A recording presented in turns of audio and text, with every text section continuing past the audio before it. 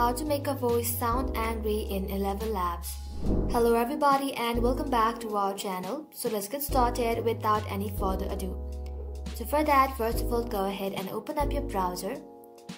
And once you open it up in the search bar, search for elevenlabs.io. And once you search for that, you'll have to go ahead and sign in to your account using your email address. If you don't have any account, you can just create one. So once you're logged in, you'll find this kind of interface in your screen. Now inside the text to speech box, you want to go ahead and type in your text. Now to make a voice sound angry, I have entered this text. Make sure your text is inside the quotation mark. Also add hyphen including text like this.